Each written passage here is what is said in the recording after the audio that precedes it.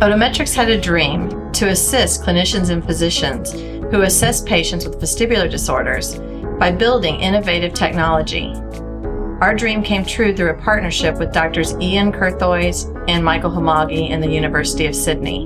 Through their 20 plus years of research and our 30 years of building vestibular devices, we have partnered together to bring you the ICS Impulse. The ICS Impulse will make assessing the semicircular canals of the vestibular system patient-friendly, time-efficient, and accurate. Portable vestibular assessment has been the dream for many clinicians and physicians over the years. With the ICS Impulse, you can assess a vestibular patient anywhere. The built-in calibration lasers on the goggles means that you can calibrate in any location.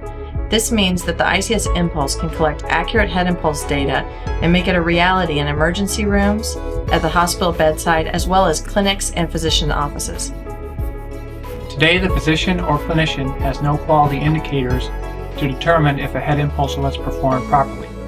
Visual observation is often used to determine the presence or absence of a catch-up saccade. ICS Impulse removes the guesswork and provides a reliable head impulse test with excellent sensitivity and specificity.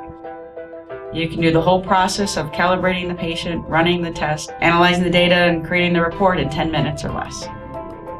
Our target with the ICS Impulse was to design a device that assists the physician and clinician with quality data analysis, providing them with a more reliable diagnosis. We believe that this device will be used by the vast majority of physicians worldwide that is by a neurologist, ENT, audiologist, or a physical therapist. Performing a head impulse test has never been so quick, easy, or flexible. The ICS Impulse is an innovative device assessing the vestibular ocular reflex.